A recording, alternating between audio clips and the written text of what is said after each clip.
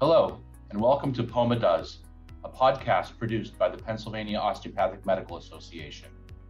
We provide a voice for osteopathic medicine and share insights on issues important to osteopathic physicians, residents, and students, as well as those who embrace the osteopathic philosophy.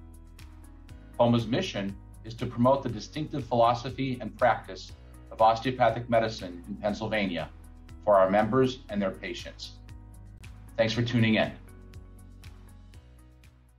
Hi there, and welcome to POMA Does, a podcast series produced by the Pennsylvania Osteopathic Medical Association. I'm Lisa Witherite Rigg, and for at least the next eight days, as of this recording, I am the sitting president of the award winning Pennsylvania Osteopathic Medical Association. Award winning? Why do you ask? Well, that's what we're here to talk about today. During the 2022 OMED congregation in Boston, Massachusetts, the Pennsylvania Osteopathic Medical Association received the American Osteopathic Association Outstanding Affiliate. And we're here today to talk about that. With me today is Chief Staff Officer of the Pennsylvania Osteopathic Medical Association, Diana Ewert, and Dr. Frank Tursi, the chair of the AOA Bureau of Affiliate Relations. I will let Diana and Frank introduce themselves. I'm Diana Ewert. I'm the Chief Staff Officer of POMA, and it is my pleasure to be the person behind the leadership. And I'm grateful to be on this podcast with both Dr. Witherite Rigg and Dr. Tursi. And Frank, will you introduce yourself?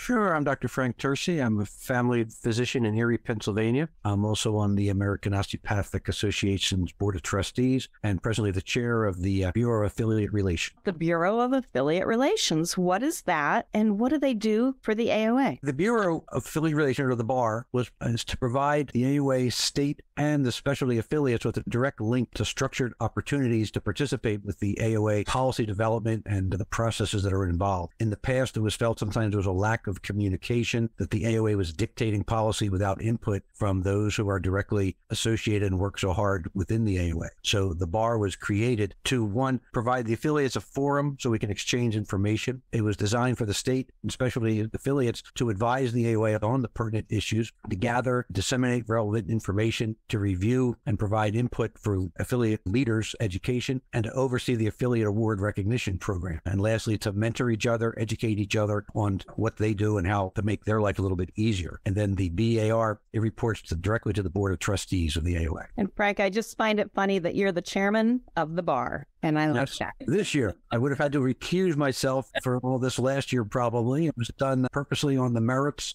of the POMA and the hard work of Diana and her staff involved. Thank you, Frank. And Diana, tell us a little bit about what you do and how you do it and how it fits in with the AOA. Well, what I do is focus more on the governance side of POMA as a nonprofit association. And my team carries on with the day to day operations of our strategic plan areas. And if you've not heard the podcast about our strategic plan, please take a listen to it and it'll help you understand better each of our team members is assigned to a strategic pillar. Those pillars and the activities underneath those pillars are guided by our strategic plan. And I oversee everything relative to the team and achieving what we need to strategically under the pillars, as well as serve as the staff liaison for the governance pillar, which is the board, various committees, groups, task forces. And we put things together and they become some pretty nice programs. And basically, we were recognized for the efforts that we put forth last year in education, leadership, membership, advocacy, and student and early career physician outreach. Wonderful. So, Diana,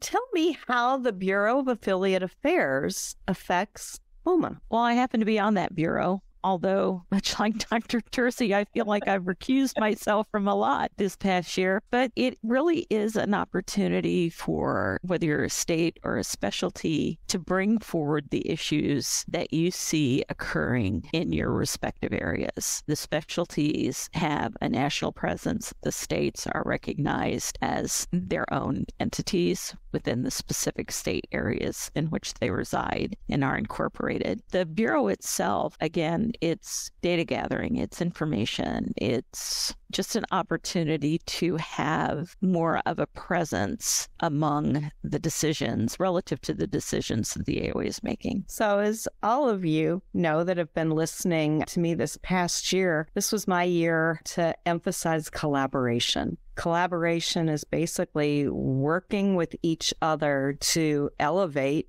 the entire group. And that for me also means collaboration with the AOA. So the Outstanding Affiliate Award, certainly quite an honor, and it recognizes the Pennsylvania Osteopathic Medical Association for their achievements and excellence in those categories education, advocacy, leadership, and membership. But the other thing it does is it allows other affiliate organizations to see what worked for us and to share that information. So we, as more than just the POMA, but as part of the AOA, can elevate everybody and be a better association for our members and our patients. Frank, can you share a little bit about the background and the purpose? Because it hasn't been around for very long. No, it is not. It's a relatively new bureau and certainly relatively new awards. But the Outstanding Affiliate Awards, they were created in 2021 by the AOA Board of Trustees. They were started to recognize the tremendous contributions that affiliates make to the success of the osteopathic profession. There's two to three affiliates are selected each year on the basis of the award and the application process. So that's the background of it. So it's only been in existence. Will be the third award year type thing. The goals are to acknowledge the affiliates that can demonstrate creativity, innovation, resourcefulness, and flexibility. It's to highlight their outstanding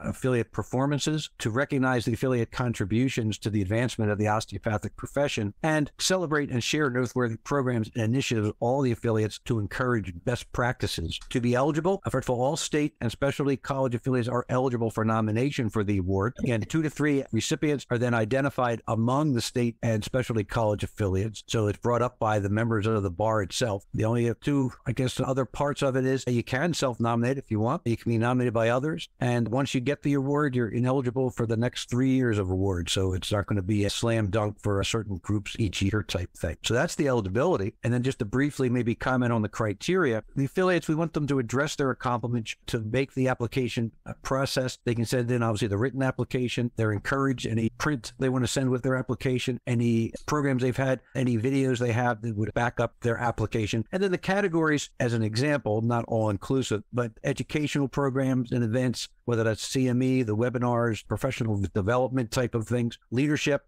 Does the affiliate have a training program that's maybe unique and development of succession planning, membership? Uh, what is their recruitment techniques, their abilities to retain and engage initiatives for the benefit of all? Advocacy, obviously, for legislative and community professional affairs, communications and branding, both internal and external communications with the members and other key stakeholders, the social media, promotion of the osteopathic profession again, student residency, early career physician. Are there any customized programs and benefits and leadership opportunities that they may have? And then lastly would be even that diversity, equity, and inclusion. Do the affiliates have any plans, a way to bring in outside groups and make them part of the family, so to speak? So that's the criteria. I don't know if you want to go any farther, but the, again, it's the submission form and the application is then reviewed by the Bureau of Affiliate Relations. They review all the nominations and the material. They present a slate of recommended nominees to the AOA Committee on Awards. That committee then also reviews the slate. They make a recommendation of the winning recipients directly up to then the AOA Board of Trustees, and then the Board of Trustees gives its final approval. So that's the story. And we want to emphasize that everybody that may have been involved in Pennsylvania in that process actually recused themselves from evaluating Pennsylvania's application. Is that correct, Frank? That is absolutely correct. Yeah, we wanted to do this as fair open communication, if you will, just so everybody knows what the process was among it and the fact that, yeah, you can't just stack the team and then just as much as possible is done it totally blinded even at first, just to see, okay, we don't even know who this application is, but is it a good one or a bad one? Now, subsequently. It's a small enough group that you know who was what at, at, some point. But yeah, even those who didn't recuse themselves, they don't know, well, gee, we want to, you know, vote for this person, keep somebody happy, or we don't want to irritate this group, so we better make them happy. It's done on the merits and the quality of the presentation. So, anybody that reads our POMA newsletter that comes out every month for the past year, I've been defining words and then writing about that word. This past month, I actually wrote on humility. And I truly believe humility is not thinking less of yourself, it's thinking more of others. When Pennsylvania decided to apply for this honor. It was not one of grandiosity or with a spirit of overwhelming pride in a negative way, but with humility that we did want to share. We were proud of what we have done and we wanted to share our accomplishments in the case it may help other associations. So, Diana, can you share with us the process of application? We did self nominate, correct? We did self nominate. We self nominated the year before and did not get recognized. But before I get into that, I do want to point out that the way the process is served, the way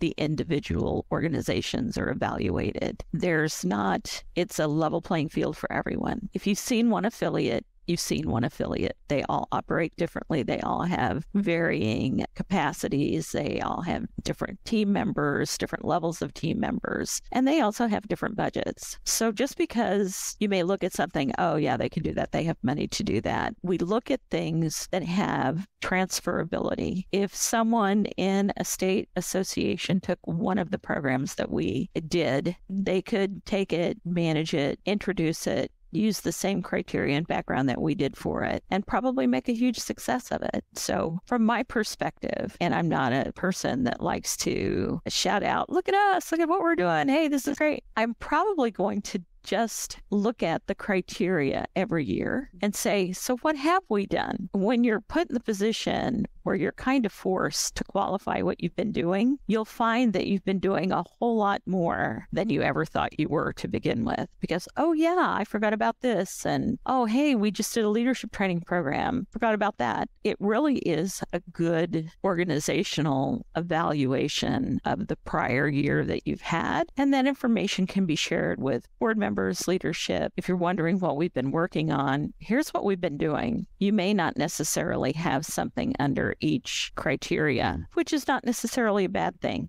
I've seen applications where people come in and say, This was the focus of our year, and this is what we did, and not have anything under two other areas. So then you know, you look at it from a resource perspective, and if this has been wildly successful, they're deserving of recognition. So making it fit in the boxes is sometimes a bit of a challenge. That's what I was going to say. We're actually very limited to the number of words that we can use for each submission in each category. But honestly, what we at POMA do, DO, we go back to our pillars and our four pillars of education, membership, advocacy, and communication. And we look at what we do, we look at our mission, and we make sure everything that we are doing goes back to our strategic plan. So, in my opinion, one of our strongest contribution is that in the field of education. And some of the things we highlighted in our application on education is our accreditation under the ACCME as well as continued accreditation with the AOA with distinction for our osteopathic education. What that means is being both ACCME and AOA accredited for our CME, our educational programs are relevant to all of our members. We didn't do the ACCME accreditation to make a bunch of money by accrediting other programs. We did it because we know some of our osteopathic physician members are also certified under allopathic boards, and we want our osteopathic education, and I will stress our education is distinctively osteopathic. We want that to be relevant to all of our members, regardless of their board certification status, though we do encourage osteopathic boards. And the other thing we have done with our education is during the pandemic, we really needed to find a way to maintain the relevance of our educational programs. And we have studied and looked at various models and we've put together a really good hybrid model that works for our members. We've produced over a hundred category 1A CME credits every year, even since the pandemic. I think we were like 124, 125 last year, as well as CME credits under these podcasts. So keep listening and get your CME credits for some of the podcasts that are eligible, as well as CME available in our publications. Diana, will you talk a little bit about some of the submission information under membership and advocacy? Sure. So POMA has a district structure as well as a state structure. We've divided up the state by county to ensure that individuals have the benefit of programming occurring in their area. We have, we implemented the District Challenge, and the District Challenge is a program that looks at what districts are doing and asks some similar questions. What you do relative to being an osteopathic physician is very community oriented based. So, have you done any community based programs? Have you looked at things like that? Have you done social interactions? Because eh, before the pandemic, we had allotted a certain amount per district to engage socially, just to get away from the office and get away from the day to day and do something fun as a group. And that's proved pretty successful. We're looking at ways we can always enhance it, and improve it. But if you do social programs, if you do continuing medical education programs, you all get points for that. Do you write articles? We have an article called How Are You Doing? And it's to help with the health and wellness and mental health of the osteopathic physician students and residents that we serve. We have a mentor task force that has been working on it. So all of these are what I would call indirect member benefits of being a member of POMA, where you know you have the direct member benefits, which is discounts on continuing medical education, discounts on specific programming, and the opportunity to do some things along those lines. I think one of the most creative things that we did during this period, and that was done by Jason, who is our director of member engagement, they started a POMA Steps for All, which between between a certain period, you can track your steps, you can put that information into a charity program, and you can earn funding for very specific charities. Again, it's a way to get individuals together, do things. You know, you could do a walk for charity and walk with your colleagues because it's through the Charity Miles app. There's no additional staff time involved. There's no calculation. There's actually no payment on POMA's behalf at all. The individuals who sign up to do the walking select the charity that they would like to benefit from that walk. So it was a real creative way of getting folks together and thinking about things in a different way that resulted in the expenditure of very little staff time. Now, don't you think that helps? You know, in this day and age, especially they always say, oh, younger people don't want to join and younger people don't want to do this and do that. I found they want to, but they have to see that there's a benefit for them to get a voice, not just to be on a committee. And some of the things Diana just mentioned, even at the district social events, there's always a little business mixed in with it just to make sure they hear our spiel, if you will. But you know, too often I hear, well, the AOA, that's Chicago based and that's too far out. I don't want to do that. And then even maybe let's say Pomona, you know, but that's in Harrisburg and they don't listen to us. But at the district level, they actually get to see what actually happens at the front lines of medicine.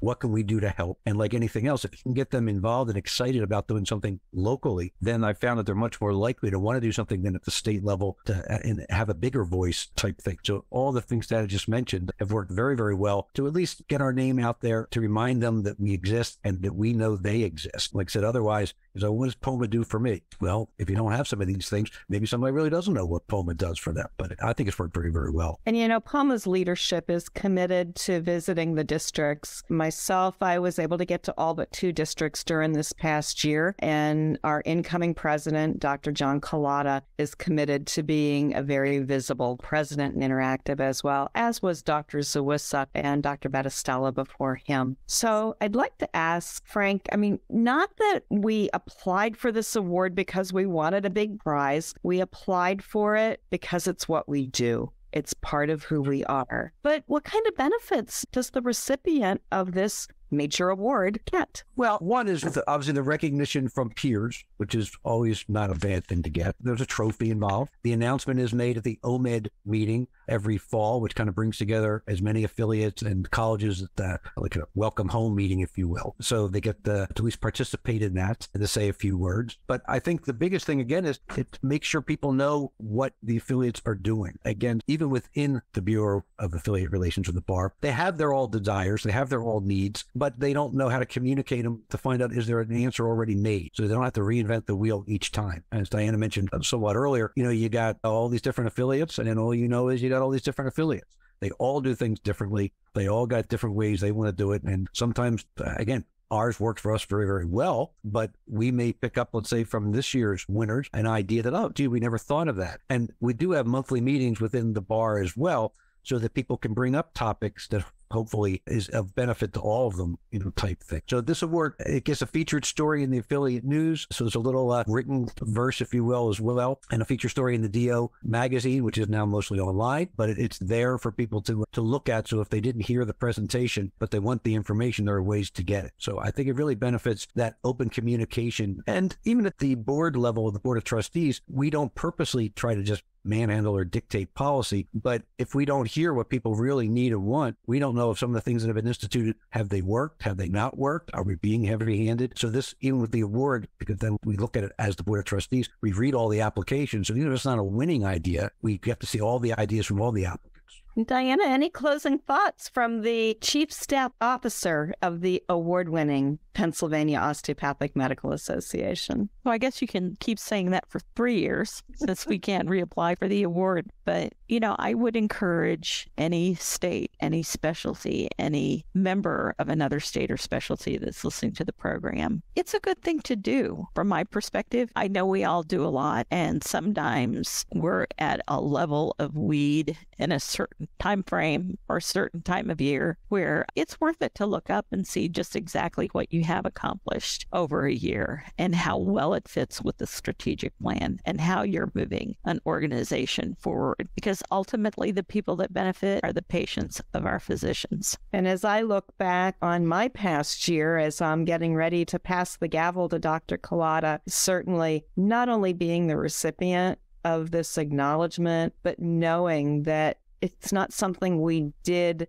for the acknowledgement. It's something we do for our members for their patients and for our students, our residents, our young physicians in practice. And then indirectly as well for the staff of Diana staff who works exceptionally hard in all different groups. You know, they're overworked, underpaid, and the whole bit. They do a great job. But I think in a backwards way as well, it maybe pats them on the back a little bit too and say, hey, yeah, people do recognize that we're doing something important and doing it well. I agree, Frank. Any closing thoughts, Diana? No, I just appreciate the opportunity to share why we are the award winning Pennsylvania Osteopathic Medical Association. And Frank, anything from you? No, the other thing I would say is for the Bureau itself, if anybody's watching the pod that's also on the Bureau, certainly speak up, uh, whether it's within our meetings or through these applications. Let people know what you're doing and share it with all. Thank you all. And thank you again for listening to POMA Does podcast. If you have any ideas or any feedback regarding this podcast, please send them to poma at poma.org. So until next time, take care. Thank you for joining us for this edition of POMA Does. Be sure to subscribe to POMA Does wherever you listen to your podcasts and tell your friends and colleagues to tune in. Learn more about osteopathic medicine and POMA on our webpage, www.poma.org, and join the conversation on social media. We're on Facebook, Instagram, LinkedIn, Twitter, and YouTube, or email us at poma at poma.org. We'd love to hear from you. Join us next time for another edition of POMA Does.